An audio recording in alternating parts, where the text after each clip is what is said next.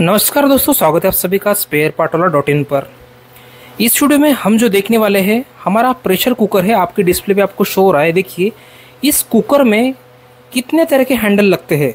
हमारे पास बहुत से कस्टमर का कॉल आता है कि भैया, हमें ये हैंडल चाहिए, वो हैंडल चाहिए कुकर का। तो कुकर में कितने तरह के हैंडल लगते हैं, उन्हें नहीं पता। तो उनके लिए वीडियो है, देखिए, हमारा जो प्रेशर कुकर होता है इनर लीड वाला, उसमें जो है तीन तरह के हैंडल लगते हैं। पहला तो हमारा ये देखिए कुकर के हैंडल में लगता है। ऊपर की जो हमारी प्लेट होती है, जिसको हम निकालते हैं। अब डिस्प्ले पे देखिए, मैं आपको कुकर की फ़ोटो शो कर रहा हूँ। वहाँ पे देखिए, वहाँ पे ये हैंडल ऊपर की पट्टी की तरफ़ लगा हुआ है। इसको बोलते हैं कुकर हैंडल एसटीपी ठीक है? एक तरह का तो ये हो गया। दूसरे तरह में आपको साइड हैंडल लगता है कुकर में।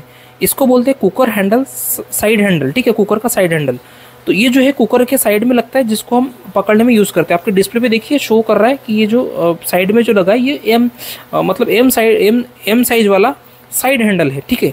और दूसरा है हमारा हैंडल जो हम इसको बोलते हैं cooker handle D L H ठीक है?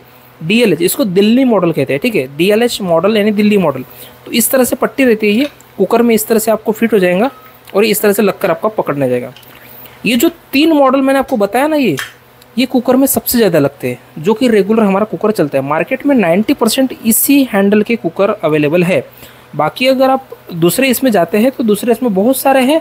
उस 10 परसेंट के चक्कर में आपकी पूरी, जो इसमें इन्वेंटरी है ना, इसके बजाय किसी और में लग जाएँगी। ठीक है? कोशिश करें कि मार्केट में जो सबसे ज़्यादा चल रहा है, उसी को बेचने की कोशिश करें। ना कि आप 10 परसेंट के पीछे भागोगे तो आपकी इन्वेंटरी में पैसे बहुत जाएँगे, आपकी इन्वेंटरी पड़ी रहेंगी और बिकेंगे नहीं, फिर आप लॉस में जाएँगे। ऐसा माल रखो अपने दुकान में जो डेली बिकता हो, ना कि महीने में एक बार। ठीक है, अगर डेली आपके पैसे ऊपर नीचे होंगे तभी आपके पैसे बढ़ेंगे। तो इसमें मैंने आपको बता दिया कि कुकर में तीन तरह के हैंडल होते हैं। आपको ये एसटीपी नाम से आता है, ये साइड हैंडल नाम से आता है और कुकर हैंडल डीएलएच नाम से आता है। ठीक है ज़्यादातर मतलब 99 परसेंट जो इनर लीड वाले कुकर मार्केट में बिक रहे हैं, वो इसी हैंडल में ही बिक रहे हैं। बाकी अगर किसी दूसरे कंपनी में बात करें प्रेस्टीज वगैरह में तो उनमें नहीं बिकते।